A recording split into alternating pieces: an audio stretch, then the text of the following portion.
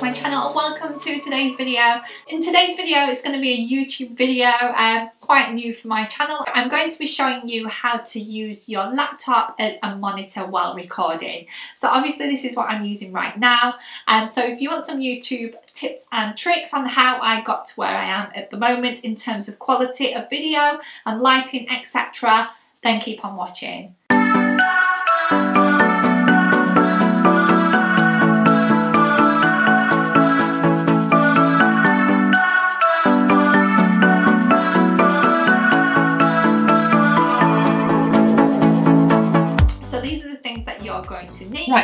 You're going to need a Canon DSLR camera, a laptop, the interface cable which is going to connect your laptop to your camera and EOS utility which you can get from the Canon website. So all you need to type in is EOS utility for Canon.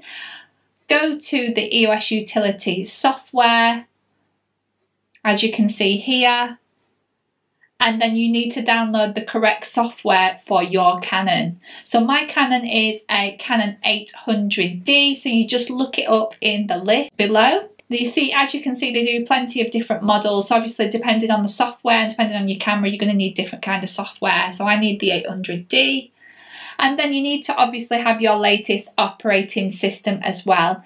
You download the file and place it onto your computer. And then once you've done that, it should load up.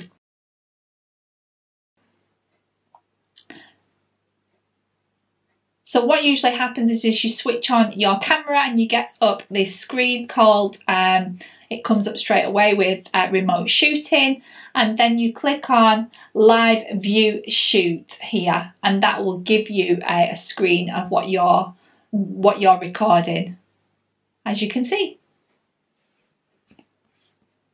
There you go. You can see me waving at myself there.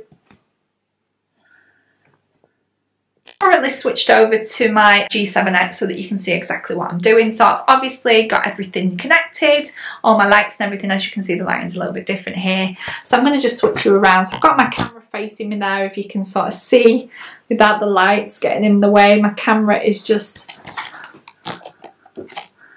camera is there can you see it now? Yeah, that's my camera.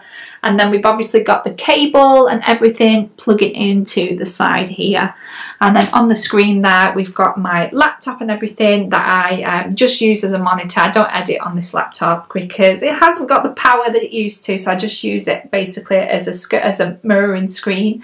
So all I'm going to do is I'm going to switch on my camera. At the minute it is switched on, but what I do, switching it on,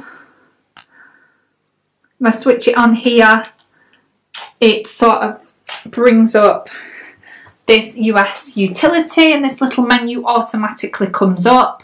Um, and then I'm going to click here, which is remote shooting. And then it brings up this little window uh, and I'm going to select live view shoot, which is this sort of button here and then it brings up yourself. So as you can see, there I am on the screen. Um, I'm not recording at the minute on my camera. Um, obviously all the settings and everything are up there on my camera, but what I can do here is I can, let me just pull my little, I have a little table here. What I can do is I can, as you can see, the lights do a really good job of, uh, as you can see, if you want to see my lighting setup, they do a really good job of lighting up my face and everything, which is really good. It's kind of like a warm tone, but what you can do is you can alter the f-stop. So here, you can see what I'm doing here. If I was to change this f-stop here, which is obviously the camera setting to, to that, it obviously goes a little bit brighter, uh, if you do the f6.3, it goes a little bit darker. Um, you can also change the ISO speed here. Um, you can either have it on auto, I generally don't. I have a little play around depending on the light outside. As you can see, there's a window there, but it's looking a little bit dull today. Um, I might, you know, if I start at 100, it's really dark. 200 is still a little bit on the dark side. So I've actually got it on 400 today and I've got it on um, that's probably a little bit bright. I've got it on f6.3 now. That's also determines uh, the type of lens that you've got. Now the lens that I'm currently using is just the one that came with the camera. It's a um, yes, the lens is just a standard Canon 18 to 55 millimeter. Um, it is a hand sort of zoom, so sometimes I use it to zoom in. I do have a 50 mil as well, but that's just a standard 50. It doesn't change the zoom at all. Whereas this one, I can twist it and obviously bring you in if I need to, but it only goes so far, if you know what I mean. The other one I have to swap lenses for.